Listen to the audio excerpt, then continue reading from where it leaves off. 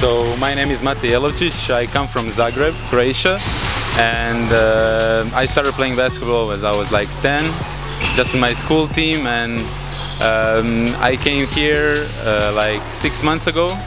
So playing with the youth, and now I got the chance to play and practice a little bit with the pros. So I'm excited. I've become a professional player like just now. Um, I, I, like it a lot actually because like guys are a lot better than in the youth, so um, they're pushing me to get better, and um, that's it. Yeah. They gave me a chance like uh, in a youth program to play here, so yeah, like they're the first choice.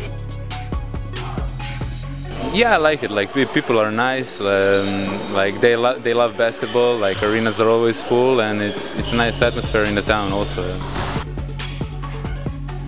I would just like to get better. Like uh, I'm a young guy, so just practice and do uh, do what they ask me to do. Hopefully get some minutes and, trying to get better. Yeah?